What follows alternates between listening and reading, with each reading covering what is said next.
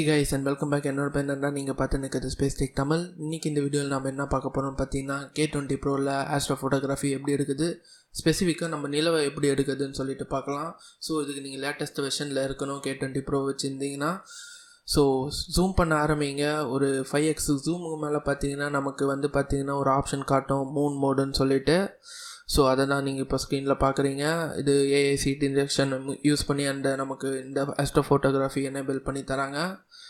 So அஞ்சு X zoom மேலே நமக்கு பார்த்தீங்கன்னா அந்த மூன் மோடு வந்து ஆப்ஷன் காட்டும். நம்ம அதை கிளிக் பண்ண ஆரம்பிச்சோன்னு பார்த்தீங்கன்னா நமக்கு பிரைட்டாக இருக்க நிலவு பார்த்தீங்கன்னா ஸோ ஸ்ட்ரிங்க் ஆக ஆரம்பிச்சிடும் கலர்ஸ் இதெல்லாம். ஸோ நமக்கு தெளிவான நம்ம கண்ணில் பார்க்குற மாதிரியே ஒரு எஃபெக்ட் நமக்கு கிடைக்கும். ஸோ இது மேக்ஸிமம் பார்த்தீங்கன்னா டென் எக்ஸ் ஜூம் வரைக்கும் தான் போகும் நார்மல் மோடில் ஸோ நீங்கள் மூணு மோடு மாட்டி போனீங்கன்னா உங்களுக்கு வந்து கலர்ஸ் சேஞ்ச் ஆகுதும் பார்க்கலாம் ஸோ பிரைட்லாம் கம்மியாயிடுச்சு நல்லாவே நிலவு தெரியுது. நான் ஃபோட்டோ காட்டுறேன். ஸோ டுவெண்ட்டி எக்ஸ் ஜூம் வரைக்கும் நம்மளால் போக முடியும் அதிகபட்சம் அந்த மூணு மோடில் ஸோ தெளிவான ஷேக் எதுவுமே இல்லாமல் இருக்க பட்சத்தில் நம்மளால் நல்ல ஃபோட்டோகிராஃபி எடுக்க முடியும். பிக்சர் பார்த்தீங்கன்னா எப்படி இருக்கும்னு பார்த்தீங்கன்னா இப்படி தான் இருக்கும். இது ரெட்மி நோட் செவன் ப்ரோவில் எடுத்தது. அதே கே டுவெண்ட்டி ப்ரோவில் டென் எக்ஸ் ஜூமில் எப்படி இருக்குன்னு சொல்லிட்டு பாருங்கள் இது டென் எக்ஸ் ஜூமில் எடுத்தது.